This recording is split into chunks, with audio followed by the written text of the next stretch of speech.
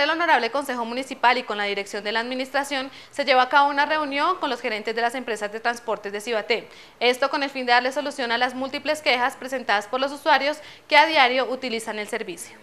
Partiendo de las múltiples quejas presentadas por la comunidad de Cibaté en cuanto a la deficiencia en el servicio de transporte intermunicipal, se convocó a una reunión por petición del Honorable Consejo Municipal, a la que asistieron el alcalde José Uriel González, gerentes de las cuatro empresas transportadoras, el secretario de Gobierno, el personero municipal, la policía encabezada la comandante Gloria Patricia Díaz y el patrullero André Castañeda, encargado de tránsito del municipio, representantes y comunidad en general. Acabamos de tener una reunión en las instalaciones del Honorable Consejo Municipal para tocar la problemática del transporte en nuestro municipio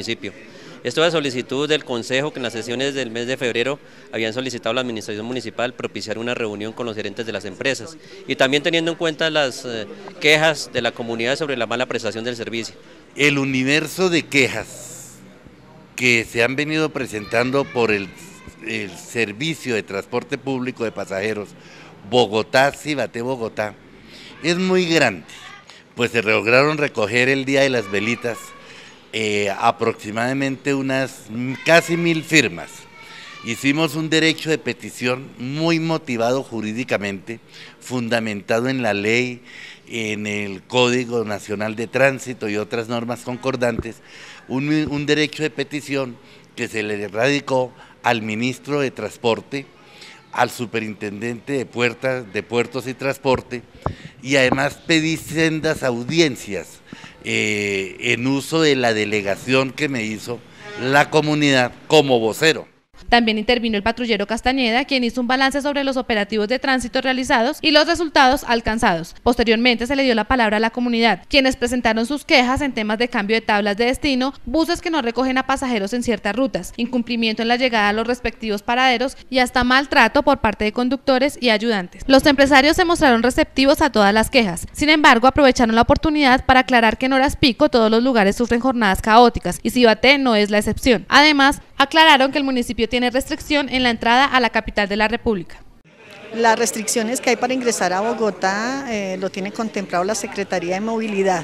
toda vez que nuestro servicio es intermunicipal y nos obligan a llegar a las terminales de transporte. A este hecho pues implicaría que los carros que prestan el servicio Cibate llegaran solamente al terminal del sur. Es muy importante que la ciudadanía de Cibaté, que la administración municipal de Cibaté, que las empresas de Cibaté presionen porque el trato de movilidad o lo referente al transporte entre Cibaté y Bogotá se ha tenido en cuenta dentro del municipio de Soacha.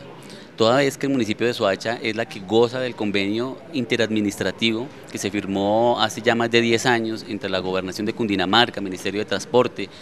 Alcaldía de Bogotá y Alcaldía de Soacha, para la cual no se tuvo en cuenta el municipio de Cibaté. Esto puede afectar a la población de Cibaté, puesto que los recorridos normales ya no eh,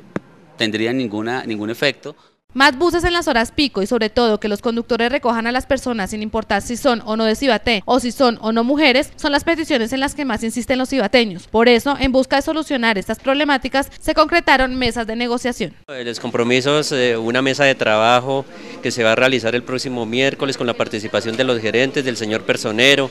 eh, de la administración municipal, de un delegado del consejo y de la policía para eh, adquirir unos compromisos más puntuales en torno a la frecuencia con que salgan los colectivos, en torno a los horarios,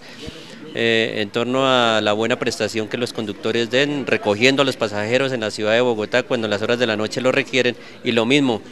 recogiendo a los pasajeros en las horas de la mañana cuando salen de, la de hacia la capital de la República. Pero sobre todo se insistió en las denuncias que debe presentar la comunidad a las empresas sobre los buses que cometan alguna falta. Esto en conjunto con el control de la policía, de las gerencias de las empresas y la misma administración a través de la Secretaría de Gobierno y la Personería, seguramente arrojarán mejores resultados.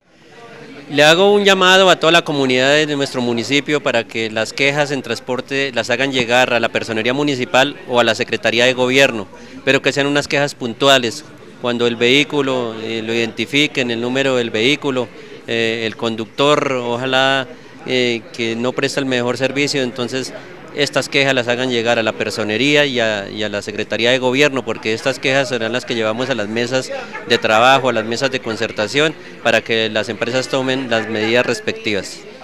frente a todas las quejas que presentaron la comunidad, Les quiero decir que estamos prestos a ayudarles, nosotros más que nadie queremos colaborar en esto y me gustaría recibir sus quejas, sus sugerencias, porque es lo que nos permite a nosotros avanzar. Sí, Cotasequendama se compromete a que si la alcaldía municipal de Cibaté fija algunos puntos eh, durante el recorrido dentro del municipio de Cibaté, comprometo que los vehículos afiliados a Cotraste Kendama van a parar en esos puntos, van a abrir sus puertas y en la medida en que no eh, incumplan las normas de tránsito como el sobrecupo o no llevar vehículos eh, pasajeros de pie en los mm,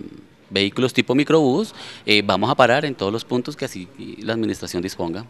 Cualquier queja o situación de la cual sea víctima con algún transportador del municipio la puede hacer efectiva a través de la Policía Municipal, de la Secretaría de Gobierno, de la Personería o directamente a las empresas. A continuación puede tomar nota de los contactos. Contrasper a los teléfonos 285-9547 o 287-3304 o a los correos electrónicos maita996 yahoo.es y contrasper terra.com.co. En Velociva a los teléfonos 725-0374 o por escrito a la Secretaría de la empresa. En Suramericana de Transportes al teléfono 721-4933, al correo electrónico expresosur h24 hotmail.com o a la diagonal sexta bis número 649 en el barrio satélite de Soacha. Y en Contraste Kendama al teléfono 201-8467 en horas de oficina.